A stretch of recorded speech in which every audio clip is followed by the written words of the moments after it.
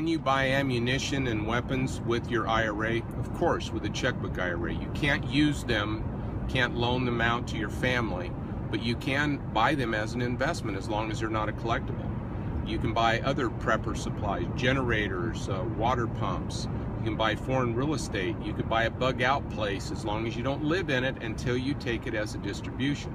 So those things are investments, but they're also a hedge against the collapse of the future. If the future uh, does turn bad, then go ahead and use those things. Eat the supplies, use the supplies, live in the property, uh, spend the gold to take care of your family.